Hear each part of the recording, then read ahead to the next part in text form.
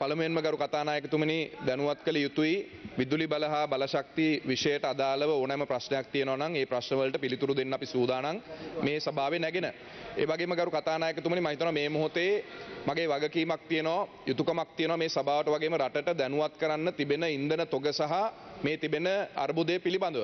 පසුගිය දවසේ විශේෂම අග්‍රාමාත්‍යතුමා එතුමාගේ කතාවෙදිත් පැහැදිලි කරා මේ රටේ තිබෙන ඉන්ධන තොග පිළිබඳව යම් අදහසක් දුන්න සහ ඉන්ධන මිලදී ගැනීමේ කටයුතු කිරීමේදී තියෙන අපිට අභියෝගාත්මක තත්ත්වය පිළිබඳව. ගරු කතානායකතුමනි විශේෂයෙන්ම අද වන විට අපිට ප්‍රමාණවත් ඩීසල් තොග ලැබිලා තිබෙනවා. ඊයේ දවස වන විට අපි දිවයින පුරා සියලුම ඉන්ධන පිරෝම්හල් වලට ඩීසල් සුපර් ඩීසල් සහ ඔටෝ ඩීසල් කියන දෙකම අපි බෙදාහැරීමේ කටයුතුල යෙදිලා ඉන්නවා. අපි බලාපොරොත්තු වෙනවා අද හවස වෙනකට අපේ රටේ තිබෙන සියලුම ඉන්දන පෙරෝම් හල්වලට එදදාස් එකසි අනුවක් තමයි සක්‍රියව තිබෙන්නේ එදදාස් තුන්සියක් තිබුණට එදදාස් එකසි අනුවටම අවශ්‍ය ඔටෝඩීසල් සහ සුපර්ඩීසල් කියන එක අකණ්ඩව ලබාදෙන් එකන අද දවසිතරක් ලබාදින නවත්වන්න විතරක් නෙවෙයි ඉදිරි සති කීපය සඳහත් අකණ්ඩව ඩීසල් ලබාදීමේ කටයුත් අපි කරන්න අපි බලාපොරොත්තු වෙනවා. නමුත් පෙට්‍රල් පිළිබඳව අපිට ගැටලුවක් තිබෙනවා. විශේෂම ඊයේ පෙරේද දවසේ අග්‍රාමාත්‍යතුමා කරපු කතාවෙත් කිව්වා පෙට්‍රල් තිබෙන්නේ එක දවසකට පමණයි කියලා. අපේ මුහුදු සීමාවේ පසුගිය මාර්තු මාසේ විසි අටවෙන්දා පමණ ඉඳලා පෙට්‍රල් නෞකාවක් තිබෙනවා. අපිට නමුත් තිබෙන ගැටලුව තමයි මේ සියලු දෙනාම දන්න කාරණාව. මේ රටේ තියෙන මූල්‍ය අරබුදයක්ත් එක්ක අපිට ඩොලර් නැහැ. ඒ අවශ්‍ය නෞකාවලට අවශ්‍ය මුදල් ගෙවල මිලදී ගැනීමේ කටයුතු කරන්න.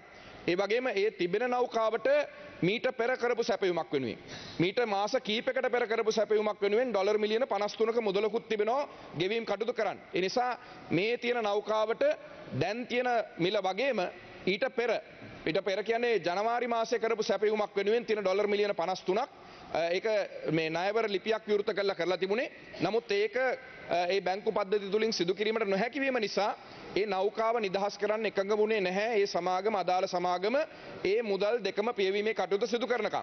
ඊයේ දවසේ තමයි මහ බැංකුවේ මහ බැංකුවේ විසින් ලබා දීපු නිශ්චිත ගෙවීම් කාලසටහනක් අනුව අගෝස්තු මාසේ ඉඳලා දින 15කින් මේ කටයුතු ගෙවා නිම කරන්න ඒ පැරණි තිබුච්ච මිල ගෙවලා ඉවර කරන්න ඒ සමාගමට ලබා දීපු ලිඛිත පොරොන්දුව මත තමයි දැන් ඒ සමාගම අපිට පොරොන්දු වෙලා තියෙන්නේ. මේ තියෙන නෞකාවේ මුදල ගෙව්වට පස්සේ අපිට නිදහස් කරගන්න පුළුවන් කියලා. ඒ නිසා අපි බලාපොරොත්තු වෙනවා අද දවසේ වෙනකොට තාමත් ඒ වෙනුවෙන් මුදල් සොයාගෙන නැහැ. නමුත් කැබිනට් මණ්ඩලයට පත්‍රිකාවක් ඉදිරිපත් කළ පහුගිය දවසේ අපි මුදල් සොයා ගැනීම සඳහා ලේඛනයක් ඉදිරිපත් කරා. අපි බලාපොරොත්තු වෙනවා අද දවසේ හෙට දවසේ මේ නෞකාව නිදහස් කරගෙන මේ කටයුත්ත කරන්න. ඒ නිසා තමයි අපි පහුගිය දින කීපේ ඉල්ලීමක් කරේ. මේක අපි හංගන්න දෙයක් නැහැ. අපි ඉල්ලීමක් කරේ තෙල් පෝලිම් වල රැඳිලා ඉන්න එපා කියන එක. විශේෂම ඩීසල් වලට කිසි ගැටලුවක් නැහැ. ඩීසල් අපි අකණ්ඩව ලබා දීමේ කටයුත්ත කරනවා. නමුත් අපි දැනුත් ඉල්ලනවා ඔබතුමන්ලගෙන් පෙට්‍රල් සඳහා පෝලිම් වල රැඳිලා ඉන්න එපා. මොකද අද දවසෙත් හෙට දවසෙත් කියන දවස් දෙක අපිට මේ බෙදා හැරීම කටයුතු කරන්නින් තාමත්ම සීමිත තිබෙන තොගත් එක්ක. ඒතරේ තියෙන සීමිත තොග අත්‍යවශ්‍ය සේවා සපයන විශේෂයෙන්ම ගිලන් රථවලට අත්‍යවශ්‍ය සේවා කරන අනෙකුත් ආයතනවලට ඒ කටයුතුවල බෙදා හැරීම සඳහා විවිධ ඉන්ධන පෙරවුම් වලට පමණයි අපිට ලබා දීමේ කටයුතු කරන්න සිදු වෙනවා. අපි කනගාටු පළ කරනවා. අපි දන්නවා ත්‍රිරෝද රථ දුවන්න වෙන්නේ ඒ දවයිටකව ලැබෙන ඉන්ධන වලින්. නමුත් අපි ආණ්ඩුවක් හැටියට ඒ පිළිබඳව අපේ කනගාටුව පළ කරනවා. නමුත් අපි ඔබතුමාලට කියනවා විශේෂම ජනතාවගෙන් ඉල්ලීමක් කරනවා. අද හෙට කියන දින දෙකේ මේ පෝලිම් වල රැඳිලා ඉන්න එපා පෙට්‍රල් ලබා ගැනීම වෙනුවෙන්. මොකද පෙට්‍රල් ලැබෙන්නේ ඉතාමත්ම සීමිත ප්‍රමාණයක් මේ දින දෙක ඇතුලේ.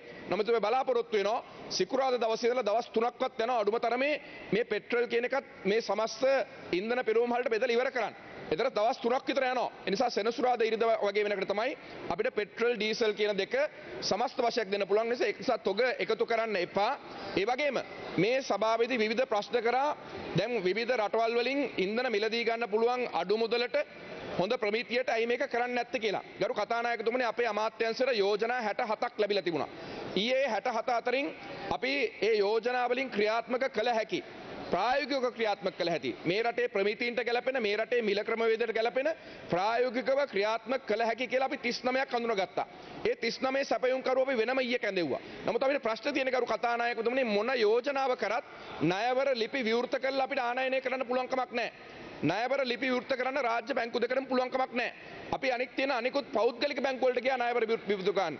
පහුගිය සතියේ SBI බැංකුවට අපි ගියා. මහා බැංකුව හරහා ඒකටත් අවශ්‍ය ගැරන්ටියක් දුන්නා. නමුත් ඔවුනුත් ඉල්ලුවේ සම්පූර්ණ මුදල තැන්පත් කරන්න කියලා. ඒතර සම්පූර්ණ මුදල තැන්පත් කරනවා කියලා කියන්නේ සාමාන්‍යයෙන් එක නෞකාවට අඩුම තරමේ ඩොලර් මිලියන 40ක් අවශ්‍යයි. අපි ඇස්තමේන්තු කරලා තියෙනවා ජුනි මාසය සඳහා පමණක් අපිට ඩොලර් මිලියන 530ක් අවශ්‍යයි අපිට ආනයනය කරන්න ඉන්ධන ආනයනය කරන්න.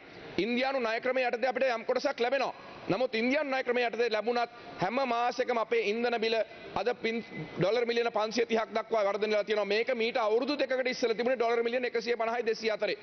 අපේ ඉන්ධන මිල ඉහළ යාම ඩොලර් එකේ මිල ඉහළ යාම ඒ වගේම අවශ්‍යතාවය වැඩි වීම. මොකද විදුලි බලය නොමැති වෙලාවෙත් ගෑස් නොමැති වෙලාවේ දෙකම අතරේ මේ අපිට ඉන්ධන සඳහා තියෙන ඉල්ලුම වැඩි වෙලා තියෙනවා. ඒ නිසා අපි ඉල්ලීමක් කරනවා සමහරු මේක ව්‍යාපාරයක් බවට පත් කරන් තියෙනවා. අපි දැකලා තියෙනවා අපිට බුද්ධ්‍යංශ වලින් වාර්තා කරලා තියෙනවා ආරක්ෂක අංශ වලින් වාර්තා කරලා තියෙනවා සමහරු අද දවසේ ගිහිල්ලා තමන්ගේ රටේට ඉන්ධන ටික එකතු කරගෙන නැවත වතාවක් ඉන්ධන ටික වෙන තැනක දාලා ආයසරයක් යනවා ඉන්ධන ටික එකතු කරගන්න.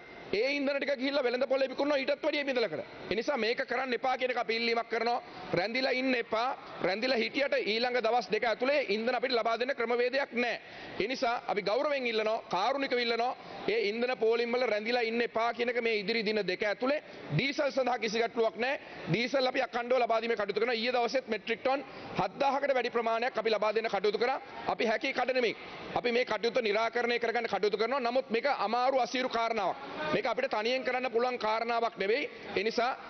අපි ඔබතුමන්ලගේ ඉල්ලීමක් කරනවා. ඔබතුමන්ලගේ හොඳ යෝජනාවක් තියෙනවා නම් හොඳ ප්‍රායෝගික යෝජනාවක් තියෙනවා නම් අපිට ඉන්ධන මිලදී ගන්න ක්‍රමවේදයක් තියෙනවා නම් දැන් තියෙන තත්ත්වය හැටියට ගරු කතානායකතුමනි අපිට ඉන්ධන මිලදී ගන්න පුළුවන් වෙන්නේ එක රුපියල් වලින් තැන්පත් කරන්න පුළුවන්. නේ 100 මුදල තැන්පත් කරන්න බෑ. අපිට 120ක 30ක මුදලක් තැන්පත් කරලා අර ණයවර ලිපියේ දින 180ක් හෝ දින 90ක් තියෙනවා නම් ඒ කාලේ වකවානුව තුළදී ඒ මුදල ගෙවීම සඳහා කරන්න පුළුවන් වෙන්නේ. මොකද ඩොලර් මිලියන 735ක් තියෙනවා පරණ ඉන්ධන වලට ගෙවන්න තියෙන මුදල් LC මැචුව වෙනකට ඒ නිසා මේ කටයුතු ඉතාමත්ම අමාරු කාරණාවක් නමුත් අපි මේ වෙනුවෙන් රජයක් හැටියට වගකීමක් කරගෙන කටයුතු කරනවා නැවත වතාවක් ඉල්ලනවා පෙට්‍රල් සඳහා මේ ඉදිරි දින දෙක ඇතුලේ පෝලිම් වල රැඳිලා ඉන්න එපා ඩීසල් අපි අකණ්ඩව ලබා දීමේ කටයුතු කරනවා පෝලිම් වල රැඳිලා හිටියා කියලා අපිට ඉන්ධන සැපයුම් කරන්න පුළුවන් කමක් නැහැ කියන එක මේ වෙලාවේ ඉතාමත්ම. කාරුණිකව මතක් ස්තුතියි. අලවතුවල මන්තුමාගේ රීති ප්‍රශ්නය. ගරු කතානායකතුමනි කතා කරන්න එපා. ගරු කතානායකතුමනි ඔබතුමාගේ පළවෙනියටම අවධානය යොමු කරන්න කැමති මේ මන්ත්‍රීතුමල්ලා කාලීන ප්‍රශ්න ඉදිරිපත් කරලා තියෙන්නේ. දැන් මේ පළවෙනි ප්‍රශ්නේ තියෙන්නේ ගෑස් සම්බන්ධයෙන් ගෘහස්ස ගෑස් සම්බන්ධයෙන්. දැන් මෙතුමා ඉන්ධන සම්බන්ධයෙන් පැහැදිලි කිරීමක් කරා. අපි බලාපොරොත්තු වෙනවා මේ වෙනකොට සෑම ගෑස් ස්ථානයකම ගෑස් ටැංකි තියාන විශාල පිරිසක් දවස් ගාණක් ඉන්නවා. මේ සම්බන්ධයෙන් අඩු ගානේ අගමැතිතුමා හරි ඇමතිවරු නැත්තම් මේකට ප්‍රකාශයක් කරන්න. මොකද මිනිස්සු රස්්‍යාදු වෙනවා. ඉතින් මේ අර දැන් ඉන්දර සම්බන්ධයෙන් ඇමතුමා කිව්වා යම් කාරණාවක්. නමුත් අපි ඉන්දර ඉන්දර පිළිබඳව අපි දකිනවා දිග පෝලිං. ඉතින් මේවා ගැන දැනුවත් කරන්න. මොකද එක පැත්තකින් මිනිස්සු කරන්න කාලේ බැහැ. අපරාධේ. ඉතින් ඒ නිසා අපි කියනවා ගෘහස්ස ගෑස් සම්බන්ධයෙන්ුත් කවුරු හරි ඇමති කෙනෙක් හරි අගමැතිතුමා හරි මේ සම්බන්ධයෙන් දැනුවත් කරන්න අද විශාල පෝලිං ගණනාවක් තියෙනවා. මේ මේ අහලා තියෙන ප්‍රශ්න වල පළවෙනි ප්‍රශ්නය ඒක. ඉතින් ඒ නිසා වැදගත් මේ මන්ත්‍රීතුමාලා අහන ප්‍රශ්නත්.